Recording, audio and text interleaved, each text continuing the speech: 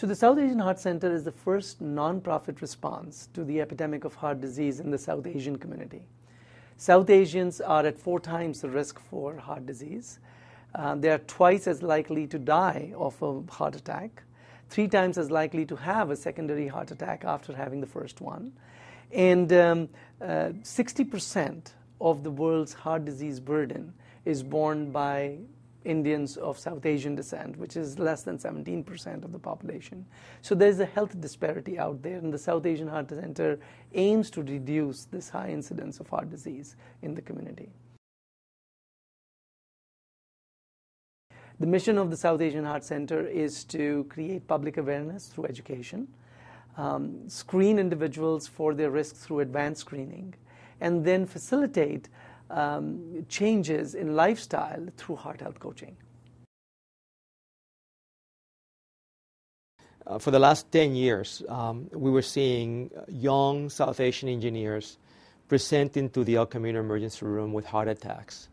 Uh, we were seeing individuals in their um, mid 40s uh, with um, a spouse and two children in the waiting room having an acute myocardial infarction, and they did not have the classic uh, risk factors that we learn in medical school that could explain the increased risk of cardiovascular disease.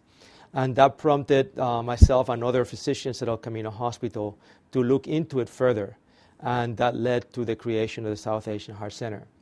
What we have found uh, uh is that there are factors that are not commonly um, evaluated in physicians' offices that explain the increased risk or partially explain the increased risk of cardiovascular disease in this population. There are other things that attribute to the risk. There is a higher incidence of diabetes.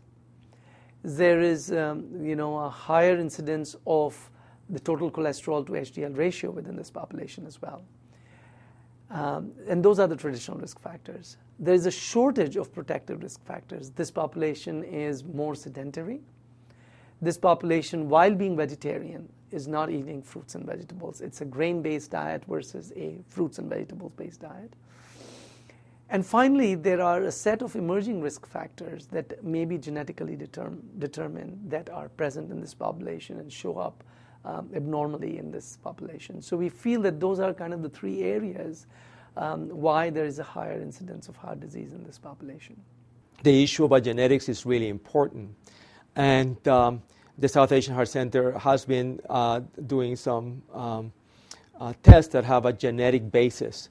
Uh, lipoprotein little a uh, is an autosomal dominant uh, uh, factor that uh, tends to be elevated in Northern Europeans who have the highest incidence of coronary artery disease in Europe, and also is uh, very high among South Asians, individuals of the sub, uh, Indian continent.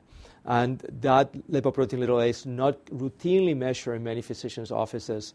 And uh, it can actually, if, not, if it goes unmeasured, untreated, and if associated with other risk factors such as a low HDL cholesterol, uh, factors such as diabetes, tobacco, hypertension, can significantly increase your risk of heart attack by about 120 times. Not 120%, but 120 times.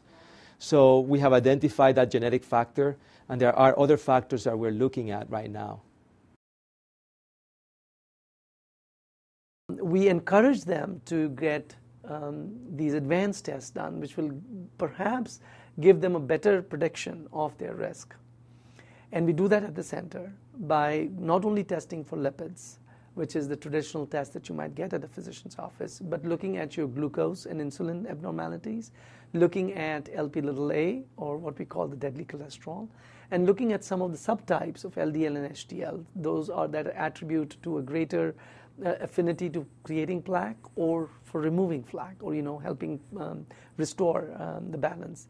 And then we work on exercise, diet, and stress management at the center with the individuals. We provide nutrition counseling, which is South Asian, so very culturally sensitive. Um, you know, people are eating South Asian diets at home, and many of the nutritionists that are out there or associated with physicians' offices may not have that background, may not know what to change in your diet appropriately, may not understand the amount of carbohydrates that may actually exist in the diet uh, that are leading to, you know, visceral fat or central obesity. So I was completely surprised um, uh, when I had my heart attack, and I was 44. Um, now, I should have known. Um, you know, my father had uh, fa- had heart attacks before, uh, but it never was real to me. And you know, until I had my heart attack, and um, I had to kind of change my lifestyle. And what I found was that it isn't a um, solution. You know, um, one thing fits all kind of a solution. First of all, I through the through that through having my heart attack found out what I should be testing for uh, and why it is important as a South Asian to test for these additional things. The second thing was, you know, coming up with a lifestyle program. Uh, an exercise, other than the fact that it's hard to kind of sustain and kind of keep it on, you at least know that you know you can get onto an exercise program. You can do three days of exercise per week or five days. And I found out that for myself, I'd have to do it seven days a week. Um, you know, one hour of some sort of vigorous activity. Uh, but the key difference uh, to my numbers really came from the nutrition aspect. The goals of the South Asian Heart Center is to actually make a South Asian Heart Center in every physician's office. So we have a very uh, big uh, emphasis in educating physicians. We do not uh, compete with physicians for patients. We actually um, encourage participants to return back to their physician um, and to receive their medical care. So, what I would say first is know that you are at a higher risk. There is studies after studies that have shown that. Once you believe in that, then the next thing for you to do is to get screened, if you have not already. Talk to your doctor and make it important for them make it important that they do these advanced tests beyond the lipid panel and look at you more comprehensively. If they are not doing it, come to us. Get screened here. We'll do it for you. Uh, and then start working on your lifestyle. So, the, the first thing is to just get involved. Then get your family and your friends involved with the program we really feel that women can make a tremendous difference to this epidemic. And they will be the ones that can actually change the course of this epidemic within our generation. Because they are the family medical officers, typically in a South Asian family. They can not only impact themselves, women are at higher risk too, but they can really impact the three or four family members in their circle. And if each family medical officer started doing this, we can really change the profile of this epidemic going forward.